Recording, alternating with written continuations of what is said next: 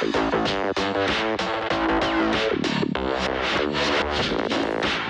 I'm Mushlings! Welcome to this new episode of Musha's Painting Academy for Beginners 101, the tutorial series of videos that will help you to improve your skills without struggling.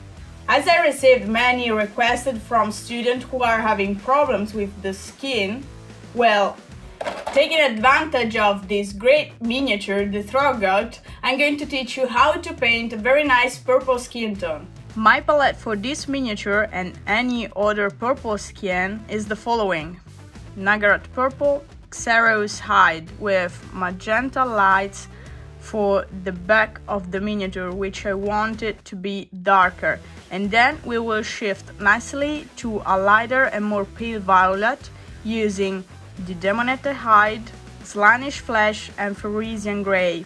And for the belly we will make a nice and smooth transition with Rakarth Flesh and Pharisian Grey lights so that we maintain the same analogous colors referring to the color wheel. Moreover, we are introducing a transition between two different colors, therefore I really suggest you to pay attention to the dilution. So guys, let's paint this amazing miniature.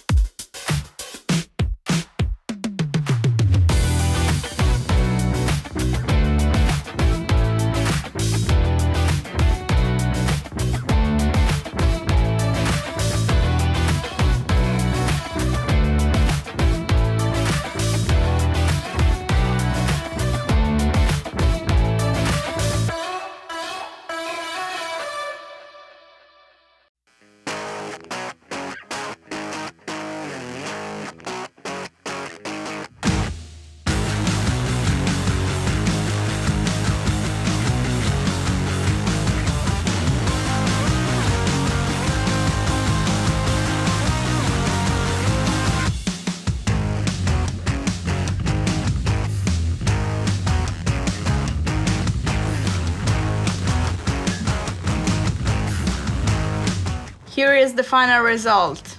I'm going to finish the details outside this video and if you want to follow my work, have a look at my Instagram page.